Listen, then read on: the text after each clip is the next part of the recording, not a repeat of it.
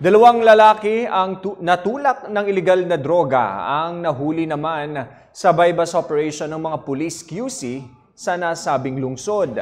Yan ang tinutukan ni Patrolwoman Katrina Joy Banag. Timbog ang dalawang kalalakihan sa pagbebenta ng ilegal na droga sa Quezon City.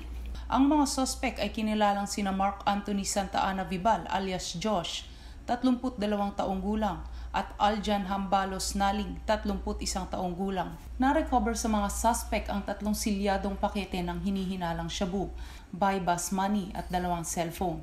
Nahaharap ang mga suspect sa paglabag sa kasong Section 5 and 11 ng Republic Act 9165 o ang Comprehensive Dangerous Drugs Act of 2002.